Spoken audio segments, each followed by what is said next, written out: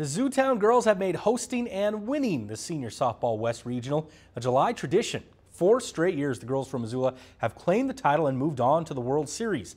This year the U16 group has taken the domination to another level, outscoring opponents 85 to 10 in pool play.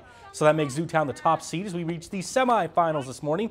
They blew out Southern California already once, trying to do it again. Top of the second, Jalen Cooper drills a two-run bomb way out to left. That puts Zootown up four zip. Cooper went four for four with four RBIs in the game. Jump to the fourth inning. It's now seven to two.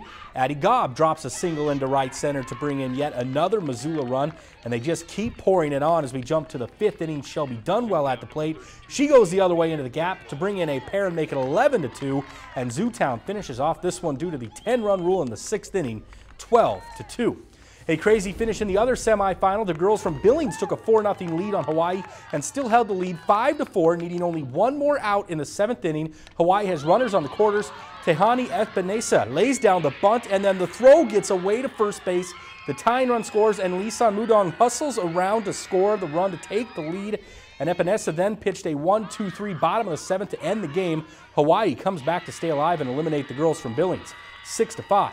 So the top two seeds advance to collide in the championship. Zootown beat Hawaii 5-2 in their closest game of the tournament back on Friday. They'll throw out the first pitch in just a couple minutes, and we'll have it covered on the 10 o'clock news.